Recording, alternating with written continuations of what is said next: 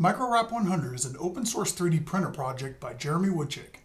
And this is step two, where we'll be attaching everything we need to the bottom of the printer.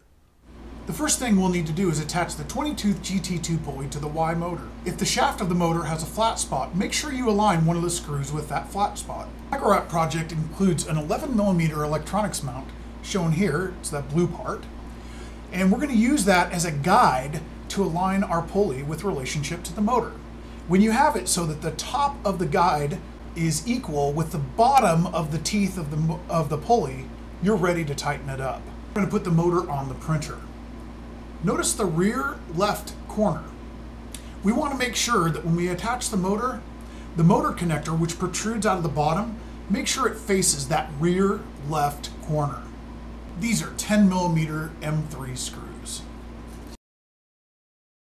Now the bottom plate also includes the Z motor, but first we have to put a coupler on it. Use the four included grub screws and place them in the coupler using your Allen wrench. As you look inside the barrel of the coupler, notice the little shelf where it transitions from a 5mm hole to an 8mm hole. As you put it on the motor, you want to make sure that the shaft goes almost up to that transition point, but not quite.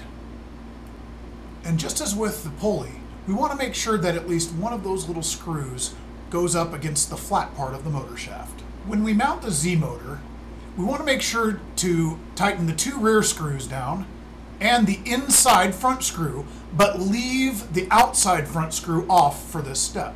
As you mount your Z motor, be sure that the wire connector is facing the front of the printer. For this step, you want to use three M3 by 10 millimeter screws. Now we're going to work on attaching the Z-rod holders, which will hold the vertical axis in place. Before you get started, make sure you check the fit of the Z-rod, and if it doesn't fit, ream it out with an 8mm drill bit. After you check the fit, you can set the rod aside and save it for later. Now we're ready to proceed to assemble the Z-rod holder for the bottom right side of the printer. The plastic in the middle of the thumb knob for the Z end stop will need to be cleared using an 8 1 8 inch drill bit. Embed an M3 nut in the thumb knob and then use the 20 millimeter socket head cap screw, which looks distinctly different from the regular button heads that we use for the rest of the build. Since this thumb knob will be twisted by the user during regular printer use, we need to secure it tightly with an additional M3 nut. That nut should butt right up against the one that's already embedded in the thumb knob. Thread the thumb knob assembly into the Z-rod holder for the bottom right side. Here you can see I'm having some trouble, so I kind of chamfer the entry point with a drill bit, but don't go too deep. Proceed to screw this in until it's about 8 to 10 millimeters deep. It's not important, we're going to change this later anyhow, when we calibrate the printer. Now you want to grab the Z-rod holder and the Z-rod holder for the bottom right side and three M3 nylock nuts. You want to embed those nuts into the parts. Align the Z-rod holder from the bottom right side so that it matches with that missing screw that we left empty on the Z motor. Secure this with a 12mm M3 screw. Run another M3 by 12mm screw through the bottom of the printer and up into the embedded nut. On the opposite side of the printer, insert two M3 by 12mm screws. These two screws should be tightened into the nylon locking nuts that are embedded in the remaining Z-rod holder.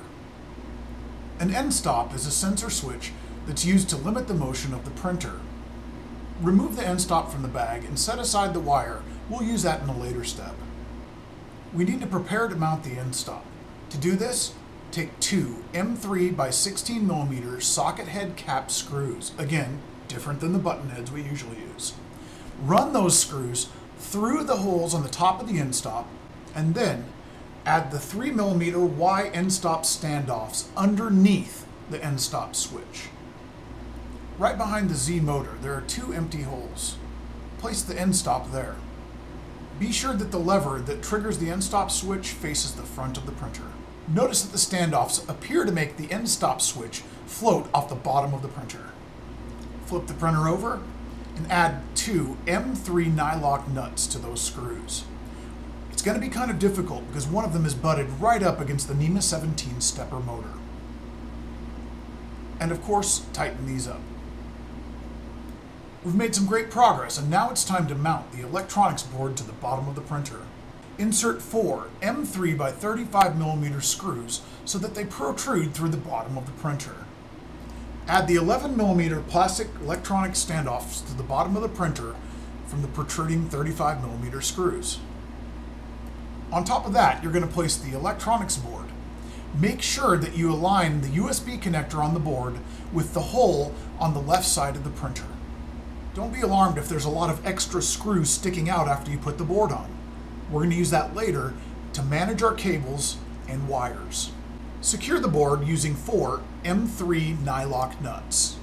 This can take some real patience because of the length of the screws.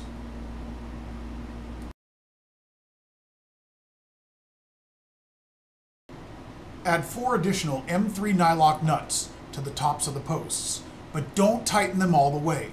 Tighten them just far enough so that the end of the screw is flush with the nylock retainer on the nut.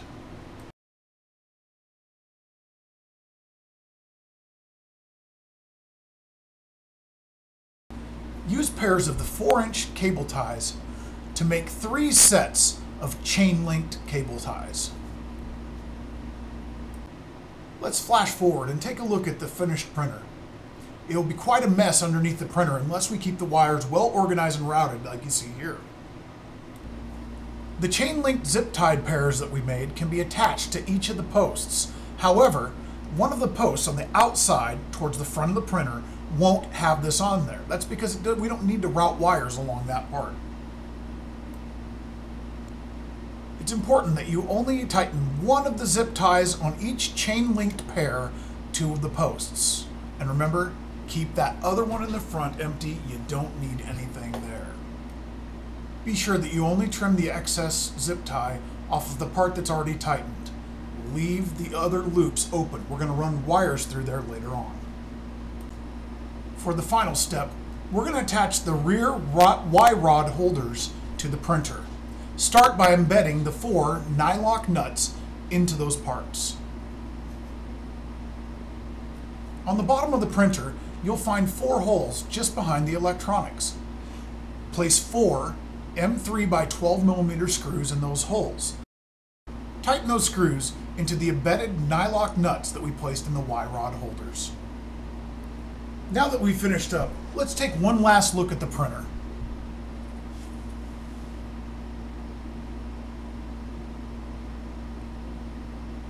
And finally, from the bottom. Next is step three, where we're going to assemble the extruder that'll keep the plastic moving.